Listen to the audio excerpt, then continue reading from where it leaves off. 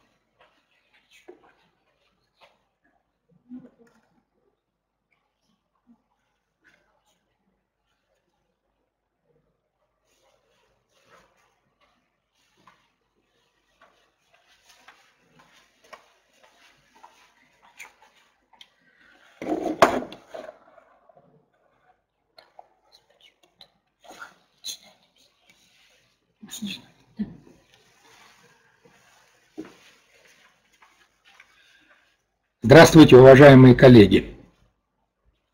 Я надеюсь, вы хорошо меня слышите и видите. Поэтому я позволю себе начать очередной семинар из серии вебинаров для начинающих работать с линией МК нашего авторского коллектива. Тему сегодняшнего семинара вы видите на экране. Мы будем говорить об особенностях коммуникативной технологии на язычном образовании в начальной школе через вопросы и ответы. Подобный семинар я проводил год назад. Но жизнь не стоит на месте. Некоторые вопросы повторяются, ибо еще они не получили свое разрешение. А некоторые вопросы появляются новые, ибо процесс иноязычного образования очень переменчив, и он зависит не только от, от методического оснащения, от методической технологии, который заложен в учебно-методический комплект или учебно-методический комплекс, но и от многих организационных факторов. Поэтому сегодня я постараюсь ответить на наиболее актуальные вопросы, которые волнуют учителя, не только того, который работает по нашей линии учебников, но вообще в целом. И, а на другие вопросы вы получите ответ, если последуете моему совету. Дело в том, что Э, семинар, посвященный э, коммуникативной технологии в начальной школе, это не первый семинар, который проводит наш авторский коллектив. Этапа обучения очень актуальна. Известный методист Пальмер в свое время говорил, что позаботьтесь о начальной ступени обучения, а остальные позаботятся о себе сами – есть и немецкая пословица «Aller Anfang ist schwer». Есть и английская пословица «A good beginning makes a good ending». И э, можно много говорить о значимости начальной ступени обучения, но я думаю, что в этой аудитории это делать э, не имеет смысла.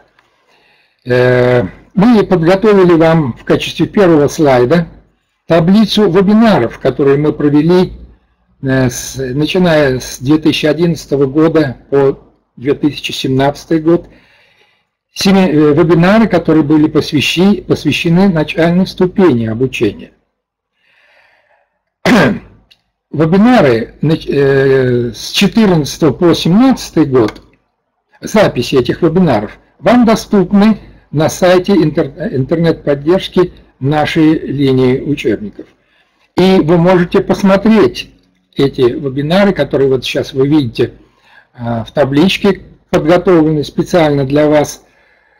А, но, тем не менее, год назад мы посчитали необходимым и очень актуальным провести целую серию вебинаров, посвященную обучению языку в начальной школе. И мы назвали эту серию серией вебинаров для начинающих работать с линией МК English 2.11. Но мы считаем, что эти вебинары полезны не только для тех, кто начинает работать, но и кто же работает по нашей линии учебников не первый год Но тем не менее, есть ряд вопросов, которые волнуют, которые представляют интерес. А, первый семинар у нас был посвящен технологии коммуникативного язычного образования в начальной школе. Вопросы и ответы, я уже о нем упоминал. И вы там найдете ответы на целый ряд вопросов. Мы освещали там наиболее актуальные вопросы технологии коммуникативного язычного образования. 26 октября мы провели работу, особенность работы с ОМК English 2, что, почему и как. Мы там поясняли э, стратегические вопросы, почему у нас обучение начинается с обучения транскрипции, почему это происходит с э, чтения по транскрипции, почему обучение произносительной стороны речи ведется в взаимосвязи с, с, с обучением чтению трансляционных знак, значков и тра, транскрипции. Зачем используется э, такая опора, как транслитерация и многие другие вопросы. 8 ноября, э, если вы посмотрите вебинар «Технологии обучения чтению на английском языке, язык, языке по правилам», то вы получите вопрос о технологии обучения техники чтения э, по правилам. Потому что, э, начиная со второго года обучения, весь третий класс посвящен именно вот этой проблеме. Это одна из главных стратегических задач третьего класса. Научить детей читать по правилам. Там снимаются многие вопросы, которые касаются обучения чтению по правилам. 15 ноября мы провели вебинар, где объясняем особенности обучения письму э, во втором классе с использованием не только учебника рабочей тетради, но и специального компонента – прописи с упражнениями на каждую букву. В том числе показываем, как можно э, для этой цели использовать еще и электронные прописи, если вы в своей работе используете электронные приложения к учебнику для второго класса. 20 декабря мы посвятили вебинар средствам формирования мотивации и познавательного интереса по владению английским языком в начальной школе. Этот семинар, вебинар был очень важен потому, что сейчас на выходе из начальной школы примерно 45% учеников теряют мотивацию и интерес к дальнейшему изучению иностранному языку. И возникает резонный вопрос, а что делать с этими учениками до, до 11 класса, где их будет ждать обязательно ЕГЭ по иностранному языку.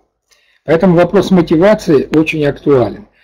Ну и далее э, вебинары были посвящены особенностям обучения лексики и грамматики, формирования лексических и грамматических, э, формирования лексических и грамматических навыков.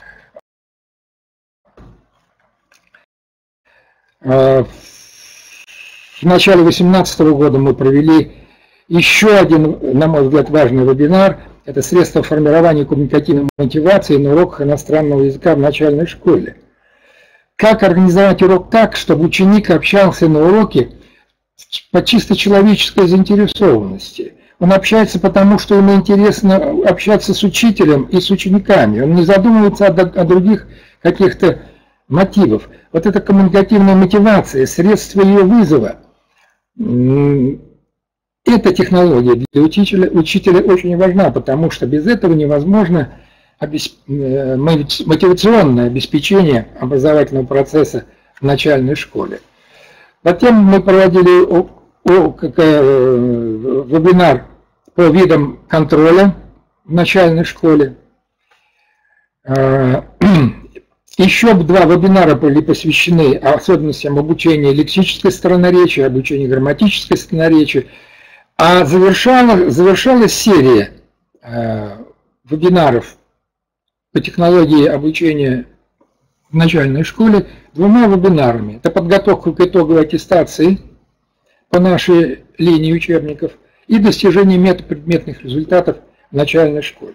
Сегодня вот этот семинар таким образом является не первым в серии семинаров для начинающих работать с нашими учебниками, а как бы продолжение. Я Напомню, тех, кто работать образовательную среду. Я не буду подробно не останавливаться, потому что на двух предыдущих вебинарах моя коллега Юлия Николаевна Кобец вас подробно э, знакомила с образовательной средой учебно-методического комплекса нашего. И я позволю себе остановиться только на некоторых компонентах, которые помогут ответить на ряд актуальных вопросов, которые вас беспокоят. Вот вы видите здесь белым цветом, белым цветом выделены учебный, учебник и шлейф пособий учебнику для учеников. Желтым цветом это то, что авторский коллектив разработал для вас, дорогие коллеги, чтобы вам было удобно работать с нашим комплексом. Я, прежде чем перейду к вопросам и ответам, э, хотел бы напомнить, что наша линия учебников сейчас адаптирована для детей с особенностями развития. Вот э, наша линия учебников адаптирована для, для использования обучения английскому языку детей с ослабленным зрением. Изменен зрительный ряд, используется более крупный шрифт, в связи с чем, что учебник делится не на две части, а на четыре, а иногда на пять частей. Поэтому если в ваших классах есть дети с ослабленным зрением, попросите библиотекаря приобрести именно вот такую линию учебников. И э, вы снимете много проблем для учащихся с ослабленным зрением и их родителей, которые очень волнуются за то, как происходит учебный процесс. О новинках. Вышли новинки. Э, вышло переиздание книги для учителя. Эта книга издавалась давно, в одиннадцатом году, потому что потом книги для учителя стали доступны на сайте издательства просвещения.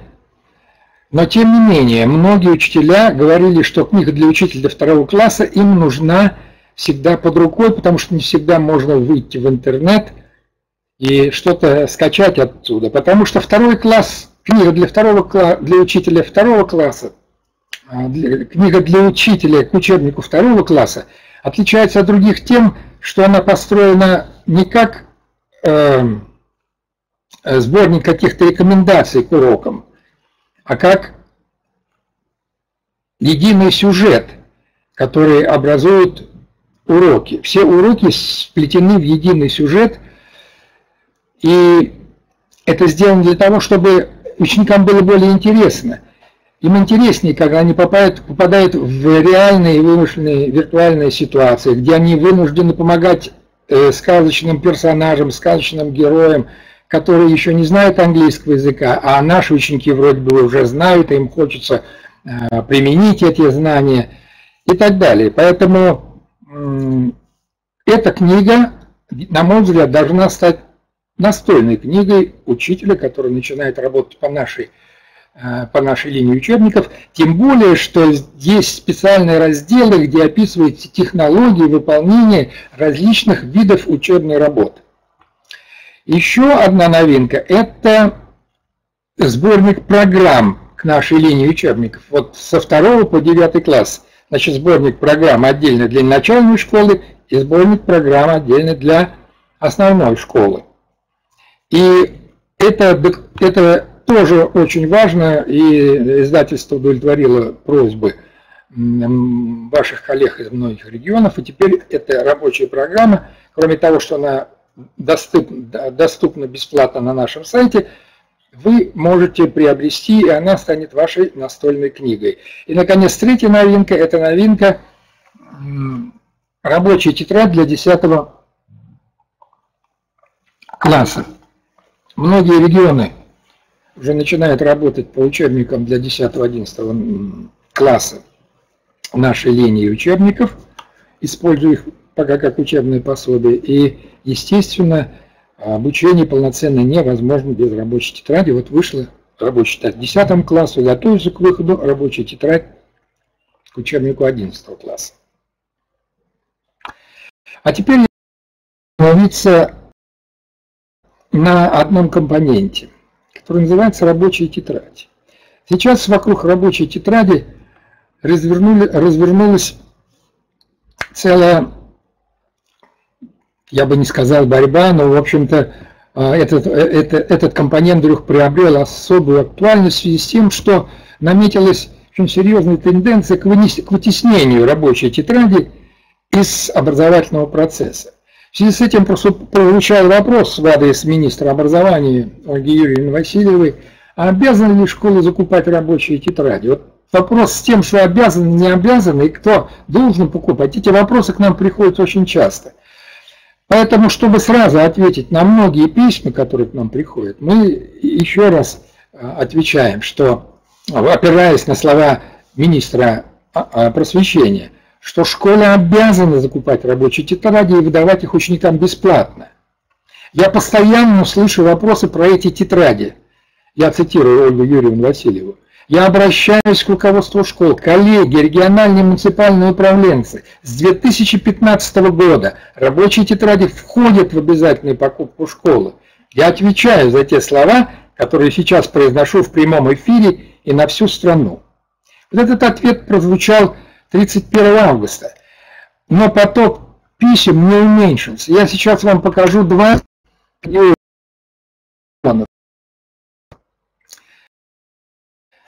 В первом письме, которое мы получили в начале октября, ваши коллеги пишут. Наша администрация в школе, во-первых, заставила стереть из рабочей программы рабочие тетради, тетради и прописи. У школы есть такое право. Всегда ли это хорошо. Во-вторых, запретили упоминать и просить, и, и просить родителей о закупках рабочих тетрадей. И в-третьих, Разошлите, пожалуйста, все школы города информацию, связанную с закупкой тетради. Спасибо. Это первое письмо. Вот, значит, проблема никуда пока не уходит. Здравствуйте, вам пишут учителя английского языка из Пензенской области. У нас сложилась такая ситуация. Прокуратура запретила покупать рабочие тетради. Заранее спасибо за ответ. Но вот видите, это так называемые перегибы на местах. Мы дошли до того, что уже вроде бы как и запрещаем использовать рабочие тетради э, в образовательном процессе. Что, конечно, конечно, вещь недопустимая.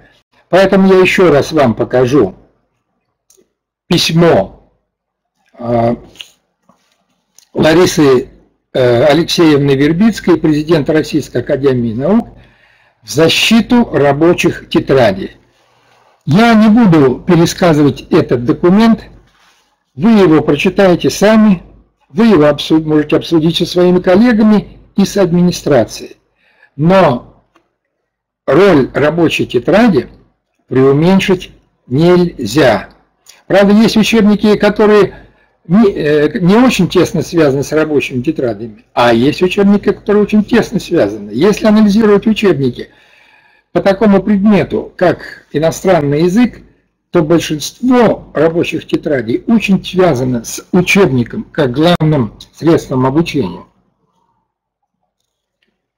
И оно призвано дополнять эти, дополнять учебник, закреплять материал, усвоенный на уроке.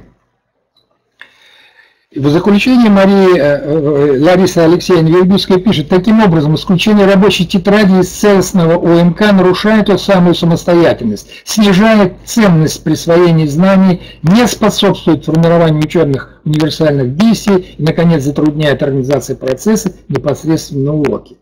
Я, основываясь на вышеизложенном, Российская Академия Образования рекомендует использование рабочих тетрадей в учебном процессе для повышения, эффективности и достижения планируемых результатов по предмету высокого качества.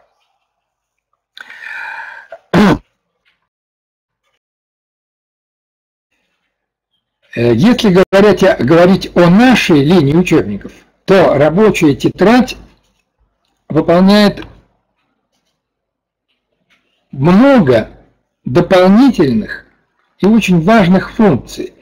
О них подробно на, семина... на вебинаре 25 сентября Юлия Николаевна Кобец подробно говорила, и каждое положение иллюстрировала конкретными примерами из рабочих тетрадей. Я просто вам напомню, что Рабочая тетрадь очень тесно соотносится с содержанием цикла уроков.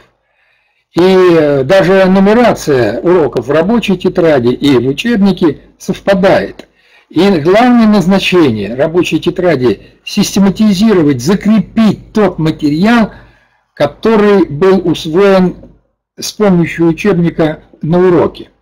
Поэтому рабочая тетрадь содержит упражнения, разные упражнения, упражнения, которые являются частью комплекса упражнений, используемых, используемых в учебнике. Часть упражнений может находиться в книге для учителя, затем упражнения в, учебнике, и даже есть случаи, когда упражнения из рабочей тетради используются на, уч... на, на уроке. В учебнике есть ссылка – дается какая-то коммуникативная задача, а в скобочках, в скобочках написано AB, значит, Activity Book, page 35, for example.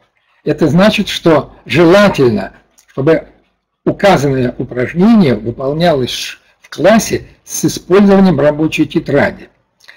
Кроме того, э, там содержатся дополнительные упражнения. Когда ученики сильные выполнили задание, а, ученик, а учитель в это время помогает слабым и средним, зачем ученику терять время? Он может выполнить упражнение дополнительное, помеченное, помеченное звездочком. Кроме того, и это очень важно, а, в тетради содержатся упражнения для выполнения дома. И если не будет рабочей тетради, как ученик будет выполнять домашние задания? Он, как правило, выполняет домашнее задание, используя рабочую тетрадь. В рабочей тетради есть очень важный раздел, так, например, как All About Me, со 2 по 7 класс, где происходит персонализация усвоенного материала, где ученик учится рассказывать о себе, своей семье, своих увлечениях, своих любимцах, любимцах, о традициях празднования Нового года и так далее, и, и других событий. Также в рабочей тетради есть раздел для повторений Consolidation Lessons, где повторяется усвоенный лексико-грамматический материал, усвоенные речевые функции и так далее. И, наконец, в рабочих тетрадях э, находятся разделы Test Yourself и Preparation for Testing, потому что там ученики выполняют тесты, они пишут, они заполняют пропуски и, так далее. И, и это, так сказать, необходимая часть, которая не может быть размещена в учебнике, потому что в учебнике писать ничего нельзя, потому что учебник это инструмент общего пользования, и учебник в течение пяти лет передается из рук в руки. Ну и, наконец, в рабочей тетради есть разделы самоконтроля, самооценки, где ученик оценивает свои успехи и неуспехи и так далее. Больше я не буду говорить о структуре материал, э, структуре рабочих тетрадей, о функциях рабочих тетрадей и так далее, потому что еще раз напоминаю, кто пропустил семинар от 25 января, мы для вас специально поместили, поместили ссылку на запись этого вебинара, и вы можете посмотреть, и э, посмотрев, вам будет проще убедить родителей и администрацию школы в том, чтобы программу а не исключала рабочая тетрадь, рабочая, чтобы рабочие тетради активно использоваться. И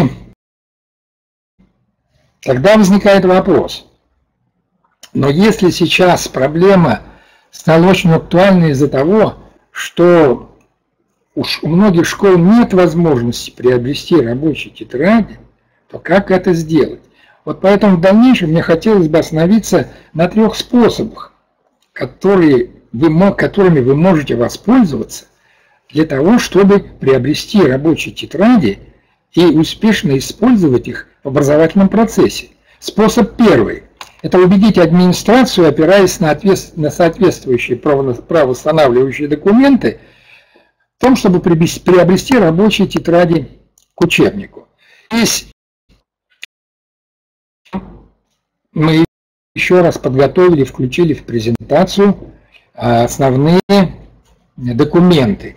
Первый документ – это документ, подготовленный Департаментом государственной политики в сфере общего образования, и этот документ подписан подписан, подписан директором этого департамента Петровым Андреем Евгеньевичем, где он приводит веские основания, опираясь на закон об образовании, на Конституцию, указывая конкретные пункты закона об образовании, на, ссылаясь на указы Министерства образования России, на постановление Министерства образования, сейчас посвящение, э, что можно за бюджетные деньги покупать не только учебники, но и учебные пособия. При одном условии, если учебники и учебные, если учебники и учебные пособия выпущены издательством, допущенным к выпуску э, учебников и учебных пособий Министерством просвещения Российской Федерации. Как вы знаете, э, издательство просвещения входит в число э, таких издательств, и поэтому пособия, которые выпускаются, которые выпускаются этим издательством, могут, приобрет, могут приобретаться за бюджетные деньги. И э, поэтому, поэтому вот этот документ очень важный, он составлен юридически грамотно, и возражать против этого документа никакая, административ... никакая администрация школы в принципе не может. Весь вопрос будет тогда опираться в наличии или отсутствии денег. Вопрос.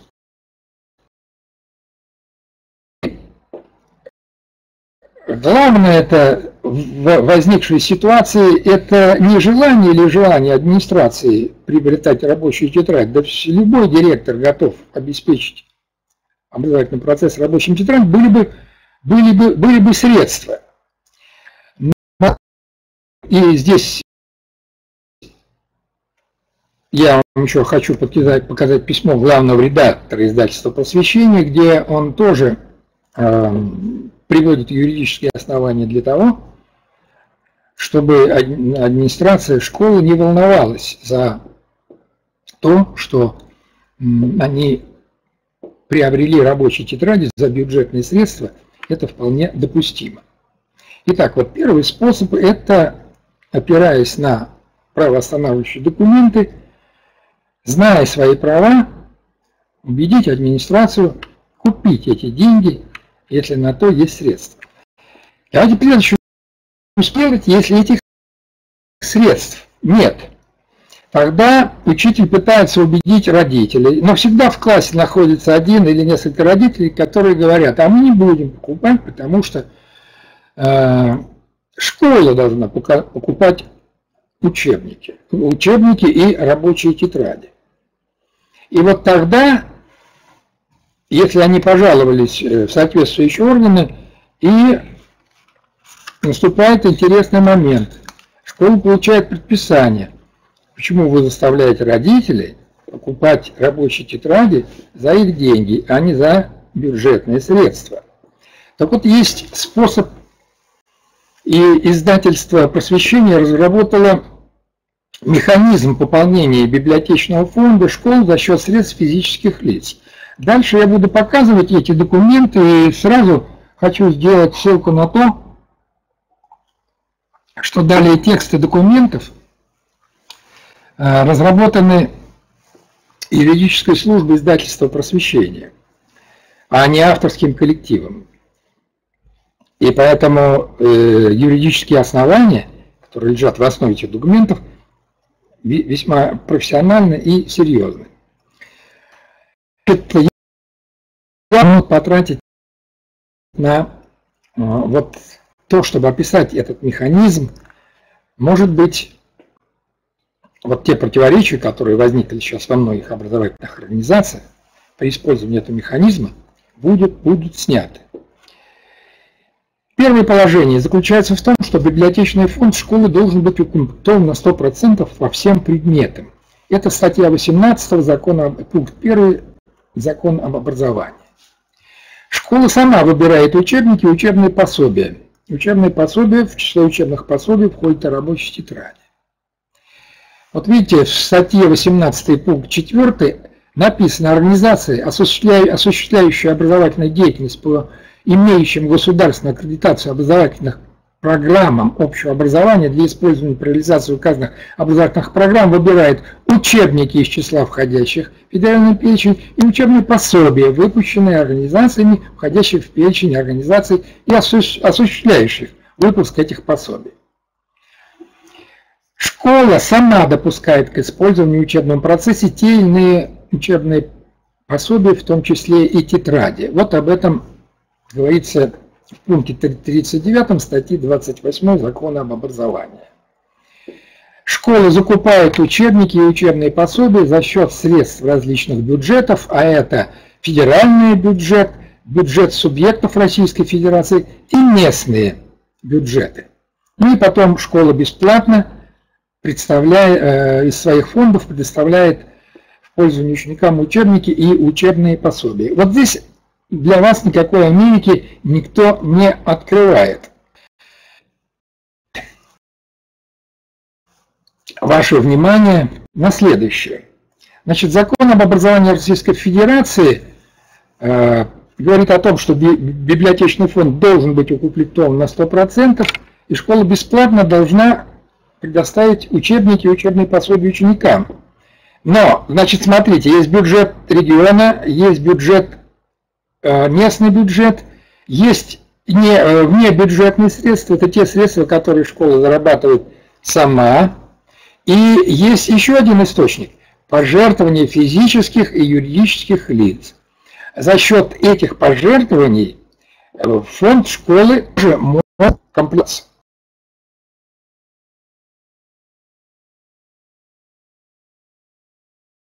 механизм, что жертвовать учебники и э, средства на приобретение учебных пособий могут родители. Вот в Гражданском кодексе есть статья 582, и есть 135 федеральный закон от 11 августа 1995 года о благотворительной деятельности и добровольчестве. И вот, значит, э, э, несколько минут хотел бы посвятить, посвятить этому источнику финансирования. Разработала пошаговую инструкцию для администрации школы, для вас как учителю, чтобы помочь вам убедить родителей, э, чтобы они приобрели рабочие тетради для своих детей, а администрация разрешила это делать, не опасаясь, что придет грозный окрик из, от муниципальных властей, почему вы приобретаете э, средства не из бюджетных средств, а на пожертвования. Поэтому вот эта вот пошаговая инструкция тоже включена в презентацию. Давайте эти шаги. Вот образовательная организация, ну дальше я, может быть, буду говорить для краткой, школа доводит до сведения родителей или родительских конференций информации возможности пожертвования рабочих тетрадей для наиболее, для наиболее эффективного усвоения учебных материалов и повышению, повышению успеваемости учащихся. В случае, если родители захотят и выразят это добровольное желание приобрести рабочие тетради, школа может включить эти рабочие тетради в рабочую программу и осуществлять обучение с их помощью. Правовые основания вы видите в правой колоночке. Здесь ссылка на гражданский кодекс и ссылка на федеральный закон 135 это закон об образовании в Российской Федерации. И за этот шаг, опираясь на эти правовые положения, администрация может волноваться. Если, если родители учащихся выразят добровольное желание пожертвовать рабочей тетради в объеме, позволяющем укомплектовать им весь класс, образовательная организация после пожертвования оформления всех необходимых документов включает их в рабочие программы, допускает к использованию. Вот. И затем она доводит эту информацию до сведений дарителей и так далее.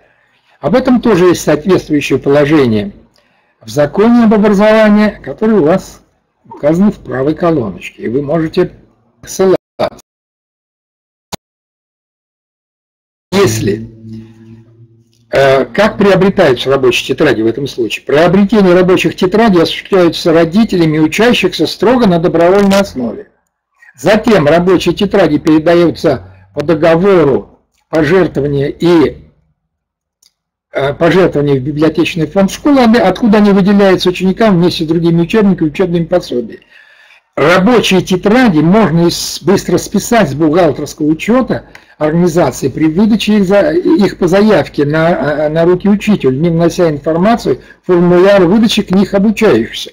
Вот это очень важно, потому что в книге вы передали по акту в библиотеку, библиотекарь выдал учителю, и книги списаны, потому что вот здесь есть со, с, сносочка такая. Согласно пункту 38-39 приказа 38-39 э, приказа номер 150 от такого-то числа Минфина России материальные объекты имущества, независимо от их стоимости, со сроком полезного использования более 12 месяцев, предназначенные для неоднократного или постоянного использования, принимаются к учету в качестве основных средств. К основным средствам не относятся предметы, служащие менее 12 месяцев, независимо от их стоимости, коми являются рабочие тетради.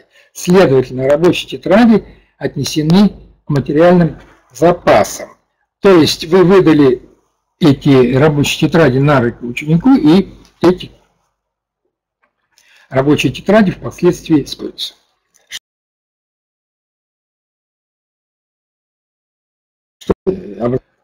Очень важно. И вот дальше я вам показываю, что в презентации включены все необходимые образцы документов. Это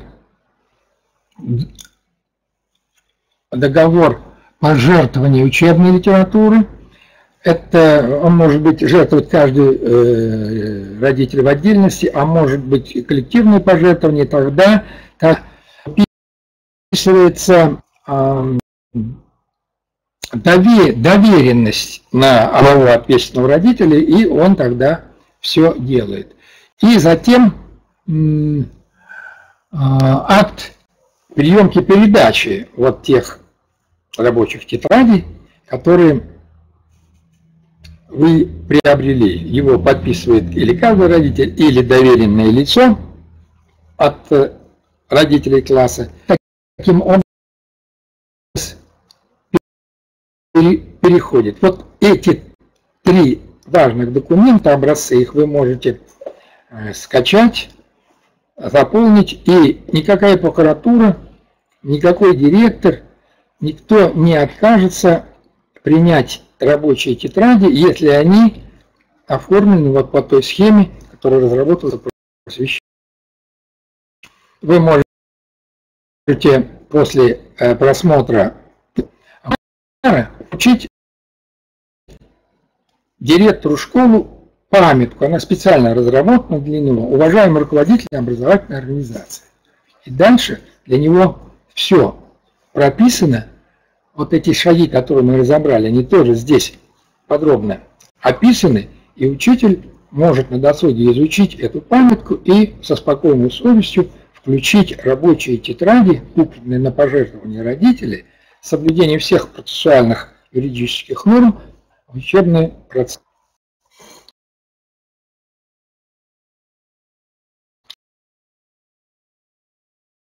Способ, как приобрести работу. Но может оказаться, но может оказаться, что и этот способ по каким-то причинам не сработал. Тогда, если вы работаете по нашему учебно-методическому комплексу, у вас есть еще очень важная а, возможность как-то заменить рабочие тетради. Вот способ третий – это использовать вместо рабочих э, тетрадей электронные приложения. Для второго его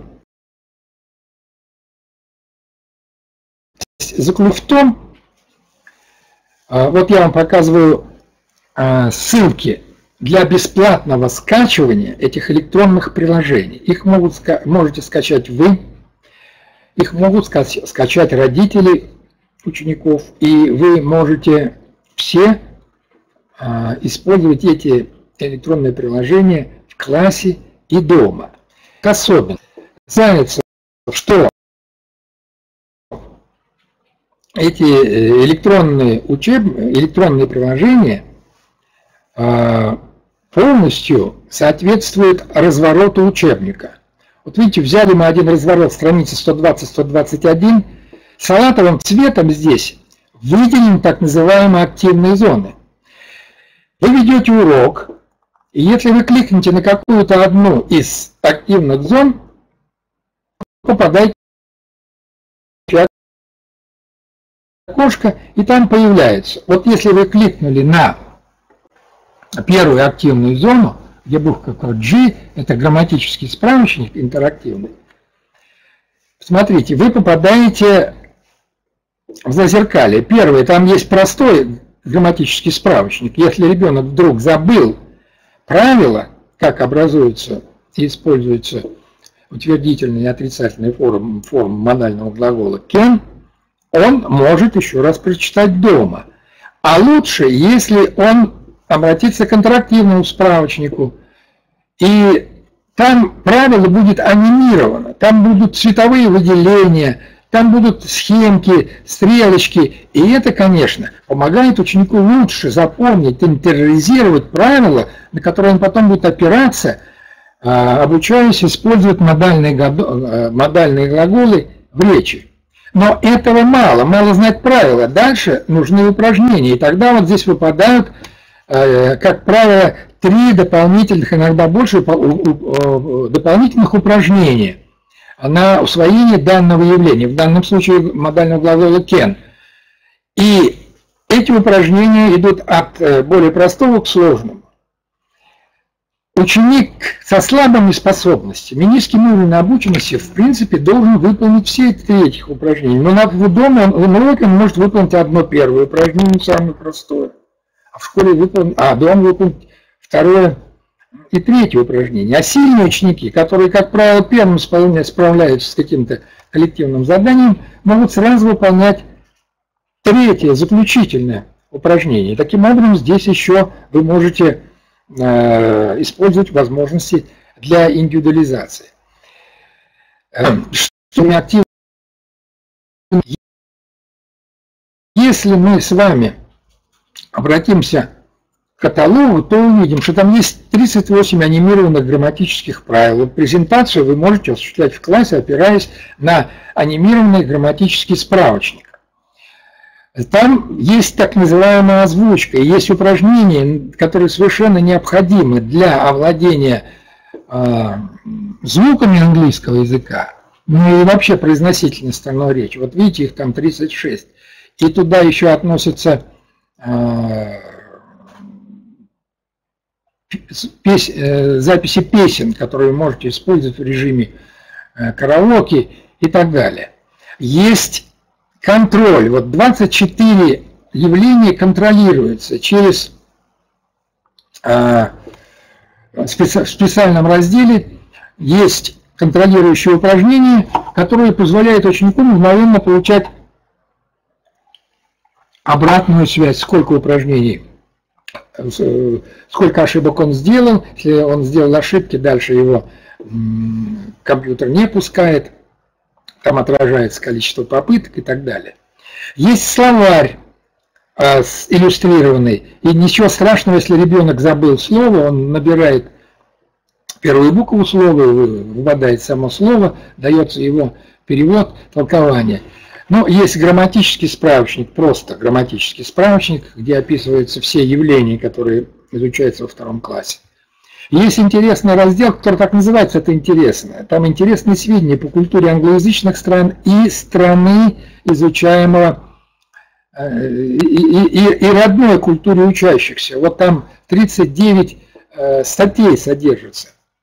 Многие ученики поняв, что этот раздел, сами самостоятельно его читают как какую-то увлекательную книжку или справочник. Есть лингвостановический справочник, он есть и в конце учебника, но дома он расширен, и там есть обязательно зрительный ряд, то это какое-то граммати... какое явление, cultural item, факт культуры, он представлен и визуально.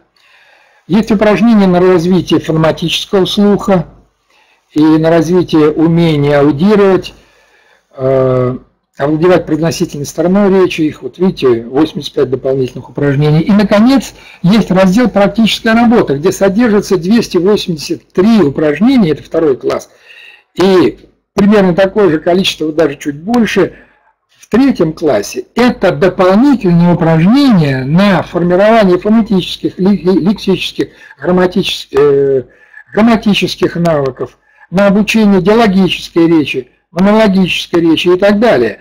И вот э, это же большая, это, это же большой банк упражнений, которые ребенок может выполнять дома с использованием компьютера и тем самым замещая рабочую тетрадь. Кроме того, есть слайд-шоу. Они очень интересны для того, чтобы проиллюстрировать какую-то традицию, э, какой-то факт культуры, из культуры стран изучаемого языка или родной культуры учащихся. И, наконец, есть электронные прописи, когда ученик может тренироваться в написании английских букв и овладевать навыком каллиграфии, опираясь вот на электронные прописи. Кроме того, кроме в электронном приложении есть такой раздел, который называется «Избранное». Вот здесь, когда мы выезжаем в регион и подробно рассказываем о э, электронном приложении, мы тоже составляем избранное. Вот грамматика, лексика, чтение, тренажер, контроль. И мы подбираем те упражнения, которые мы вам будем иллюстрировать. Но как это сделано в вебинаре, который проводил Елена Вячеславовна Кузнецова, и мы ссылочку вам чуть позже дадим, и вы можете посмотреть, как работать с электронными приложениями, чтобы получить более целостное представление. Сами эти, э, вот это избранное, он вставляется очень плохо. Я кликаю упражнение, которое мне понравилось, и оно автоматически попадает вот сюда вот в избранное. Если я сейчас э, вместо грамматики, лексики, правил чтения, аудирования поставлю фамилии конкретных учеников и накликаю упражнения, которые им нужно выполнить. То есть вот таким образом я ему сформирую такую э, индивидуальную траекторию. Если он пропустил какие-то уроки из-за болезни, я ему составляю перечень упражнений, которые он должен делать, выполнить, а раздел контроль покажет, как он эти упражнения выполнит, с какой попытки и так далее. Важно, так, если вы не смогли приобрести рабочей тетради. Если ни один из первых двух способов не срабатывает, обратитесь вот к этому способу. Тем более, что электронные приложения вам, вашим ученикам, их родителям ничего не, будет, не будут стоить. Ссылочки на эти электронные приложения, где их можно скачать, мы вам дали. И сейчас дадим еще один адрес, где можно их получить бесплатным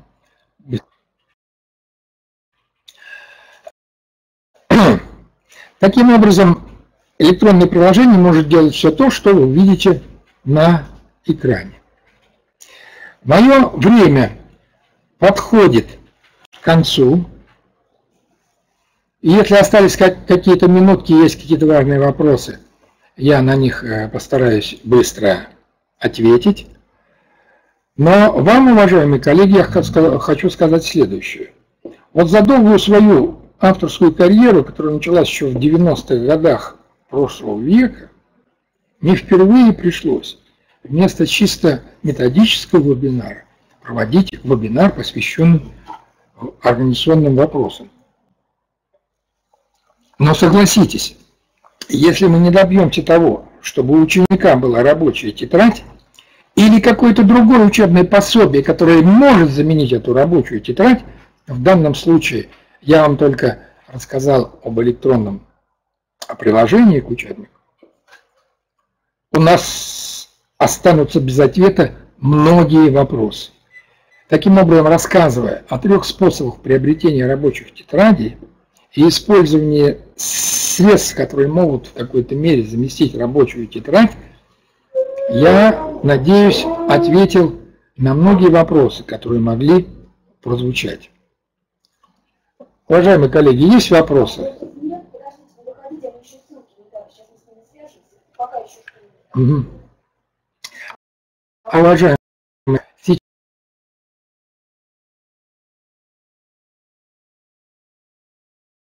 сейчас вам поставил ссылочку для скачивания электронного приложения еще раз. Но если вы скачаете презентацию, эти ссылочки на слайдах вы найдете. А сейчас я хотел бы вас пригласить на следующий семинар, который состоится э, завтра э, в это же время и будет посвящен технологии взаимосвязанного обучению произносительной речи э, и чтению по транскрипции. Его будет проводить э, Пастухова Светлана Анатольевна.